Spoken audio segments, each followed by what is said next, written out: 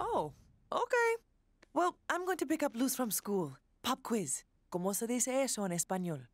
Oh, oh, uh, voy a luz eh, escuela. Voy a recoger a Luz de la escuela. Muy bueno. Keep it up. Whew. Uh, oh, uh, uh, hable más lento, por favor. Aw, you remembered your lesson. That wasn't Spanish, buddy.